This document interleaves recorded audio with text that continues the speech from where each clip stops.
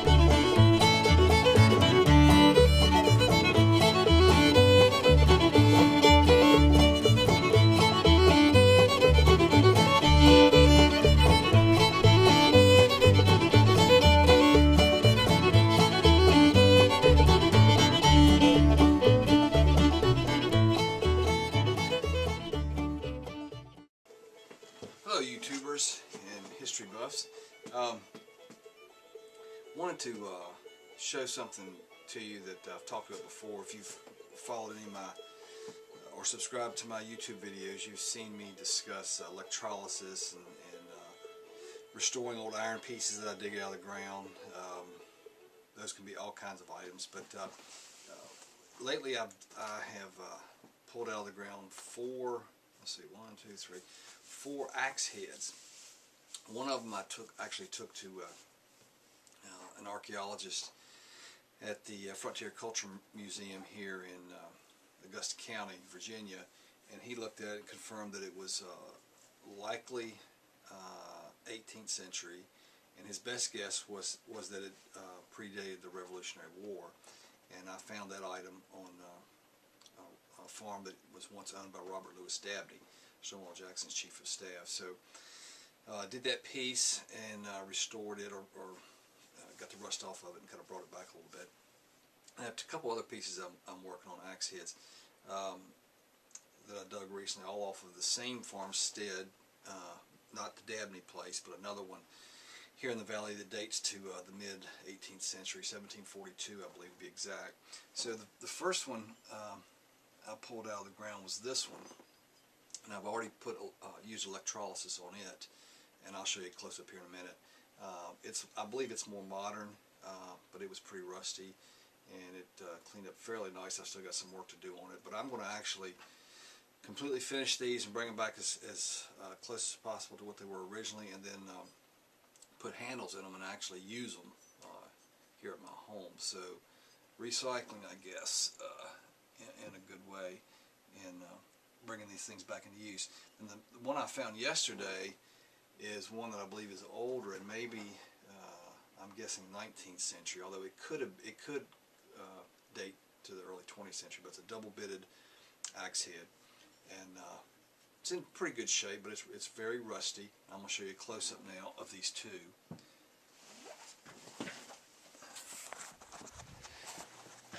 Now. Um, you'll see that uh, uh, the difference here. But this one looked like this one uh, before I used electrolysis on it. This one, the only thing I've done to it is I rinsed it in warm water to get the dirt and mud out of it. Uh, but I'm going to use a new process on this that I haven't used before, and that is to soak it in apple vinegar, apple cider vinegar uh, gentleman that uh, hosts the Sharpened Axehead blog, sharpenedaxehead.com, suggested that, and that's what his, I believe it was his dad, uh, collects axe heads, and that's what he's done. Uh, has, has used uh, apple cider vinegar, in, although he's used electrolysis too. So I'm going to compare the two processes. I'm actually going to soak this one in some apple cider vinegar too to kind of finish it up, because if you can see this, the hints of orange and brown that are still on it, those have to all be gone because uh, regardless of what you do to seal it or finish it off, if you don't get all the rust off, it does return. So it has to be, all that orange look will have to be gone. So we'll, I'll keep you abreasted of the, uh, keep uh, keep you posted of the my progress and see how it looks and, and uh, the finished product. Just thought that might interest you. Uh, one of the things that does fascinate me about relic hunting, besides the the obvious things finding uh, Civil War buttons and bullets and buckles and those kind of things are these old iron artifacts that I pull out of the ground here in the valley. Found a number of them. So anyway, we'll keep you posted as to progress and show you some more video as we as we progress. Thanks.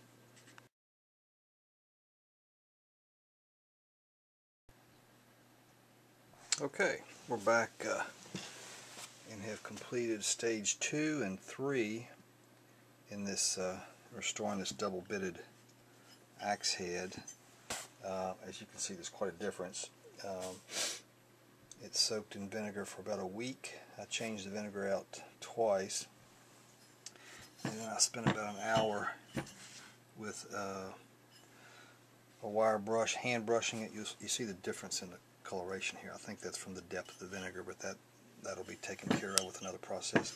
Um, so anyway, I spent about a week soaking in apple cider vinegar and most of the rust came off and then I wire brushed it and used a, a drill uh, and a bitted brush, high-speed drill to, to work on it and then I used a Dremel and a brush, high-speed Dremel and that got the rest of it. So it turned out pretty well. I'm pretty pleased with it. Haven't done anything yet to that besides the original electrolysis and you can see the difference.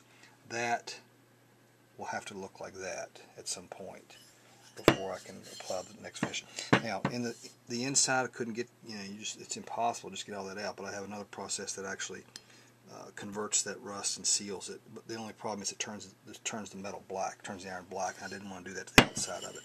So I'm going to put the rust converter on the inside there uh, to convert and seal that rust, and then I'm going to put some, I want to heat this at 200 degrees for about a half an hour to make sure all the moisture is out of it and then I'm going to put some beeswax on it and it'll be a nice looking piece.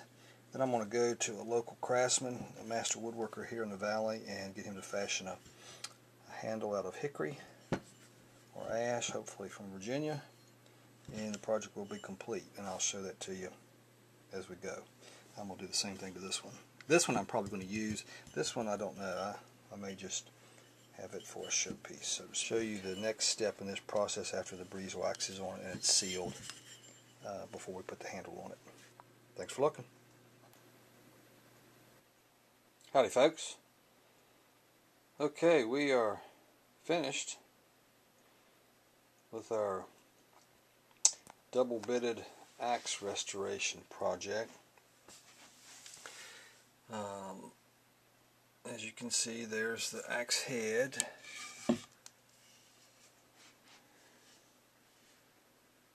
restored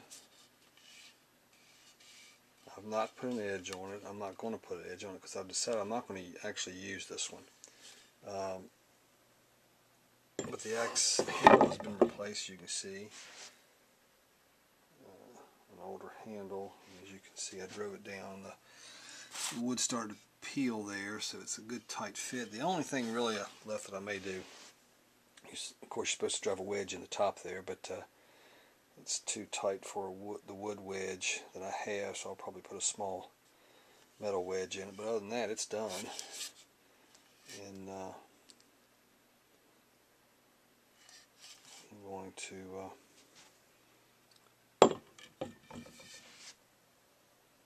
hang it I think here in my office. Isn't it beautiful?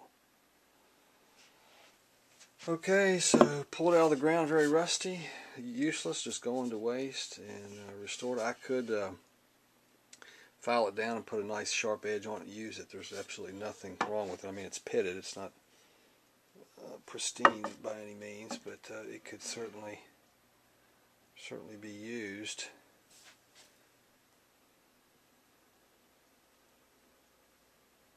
Okay and then I'm going to finish one here shortly that I will use. It's a different uh, different uh, head style.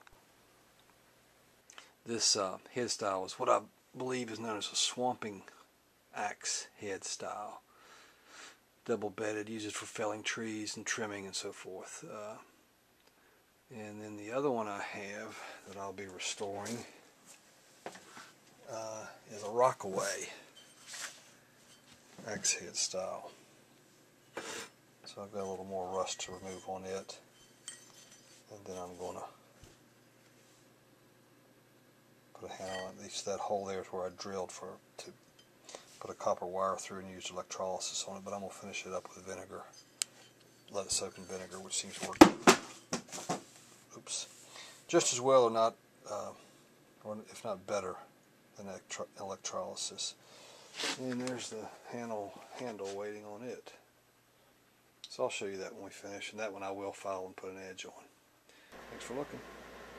Okay folks, back with that second uh, axe head. I believe it's called a rockaback is the way the is the style or the uh, pattern of the head and you can see the change in it. Now this one again soaked it in uh, apple cider vinegar for about a week brushed it a couple of times uh, with a stiff uh, wire brush used a Dremel on it a little bit and uh, it turned out again very very nice. Now this one I'm going to actually put back into service so I'll, the next step is to uh, file that uh, I'm going to install on a handle install a handle on it and then um, I'm going to uh, file down the put an edge edge on it. And take it out and demonstrate and see how it works but this came out of the same farm field that the other ones my double bitted axe did axe head did and that one's that one's been installed and is hanging up as a display now this one I put uh, just a penetrating oil on it 3-in-1 oil to keep it from uh, rusting so that's that's the finish that's on it. But uh, again, uh, you you see the before picture. You saw the before picture, and uh, this is afterwards. So it turned out pretty nice. Not a bit of rust left on anywhere. All right, so we'll put the handle on it, and we'll take it outside in a bit and uh, see if it works. Thanks. All right, axe head is now on the handle, as you can see and a single bitted axe on a curved handle. The double bitted axe or uh, axe heads are typically installed on straight handles because of the way they're used. But anyway, this one uh, is not double bitted obviously, so it's on the curved handle. Makes for better swinging and practical application. So there it is in all its glory. Fully restored. So we'll take it out and give a demonstration, see how she does after I put an edge on it. Thanks.